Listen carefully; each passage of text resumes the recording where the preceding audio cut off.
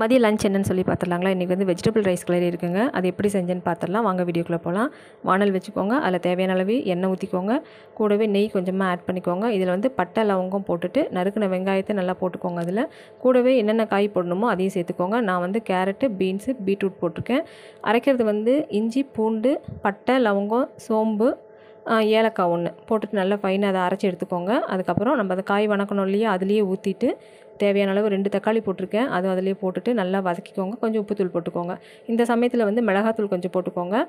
பச்சை மிளகா வேண்டாம். மிளகாத்தூள் போட்டிங்கன்னா தான் டேஸ்ட்டு நல்லாயிருக்கும். இப்போ வந்து ரெண்டு ஸ்பூன் தயிர் ஊற்றிருக்கேன் ஏன்னா ஒரு டம்ளர் அரிசி தான் ப போட்டிருக்கேன் இப்போது தயிர் ஊற்றிட்டு நல்லா இந்த மாதிரி கிளறிக்கோங்க. அந்த எண்ணெய் வந்து நல்லா அப்படியே திரண்டு வரும். அது வரைக்கும் நல்லா கிளறிக்கோங்க. கூட வந்து பார்த்திங்கன்னா கொத்தமல்லி தழை புதினா இதெல்லாம் போட்டு நல்லா வதக்கிக்கோங்க.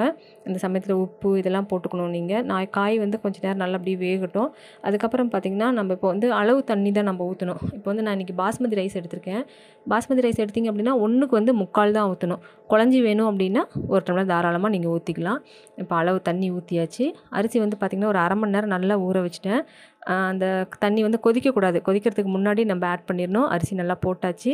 போட்டுட்டு ஒரே ஒரு விசில் வந்துட்டதுக்கப்புறம் சிம்மில் வச்சு கொஞ்சம் நேரம் கழித்து நீங்கள் எடுத்துட்டிங்க அப்படின்னா அரிசி வந்து பார்த்திங்கன்னா நல்லா அந்த சாதம் உதிரி உதிரியாக ரொம்ப அட்டகாசமாக வரும்.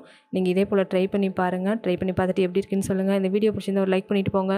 இதே போல் இன்னொரு வீடியோவில் நான் உங்களை மீட் பண்ணுறேங்க சாதம் பாருங்களேன் எவ்வளோ சூப்பராக வந்திருக்கு இல்லையா? டேஸ்ட்டும் ரொம்பவே நன்மையாக இருக்கும். நீங்கள் இதே போல் ட்ரை பண்ணி பார்த்துட்டு எப்படி இருக்குன்னு சொல்லுங்கள்